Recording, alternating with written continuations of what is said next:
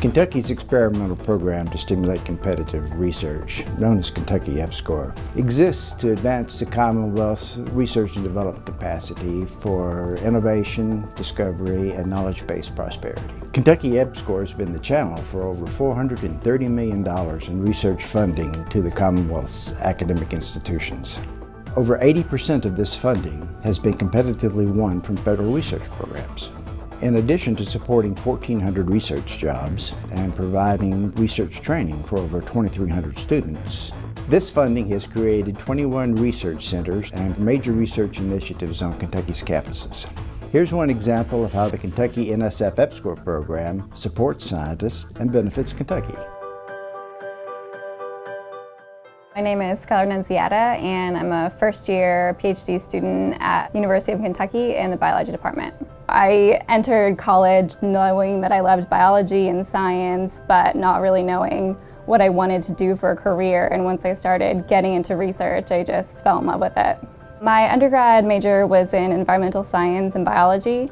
My EKU master's advisor did a lot of genetic work, so that's when I started doing genetics. Genetic work is expensive to do and a lot of the grad student aimed grants are only for a few hundred dollars.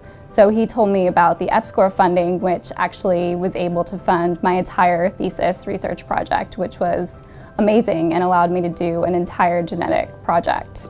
I was studying two-line salamanders. Nothing was known about their genetics, so I had to start from scratch and design genetic markers to study them. EPSCoR gave me $5,000 and that allowed me not only to do field work going out and collecting the salamanders, but also developing those markers and genotyping the salamanders. Not a lot was known about their movement patterns. Some of the questions that I had for my thesis was how they're moving. Are they moving along the stream channels? Are they moving long distances across land into neighboring streams?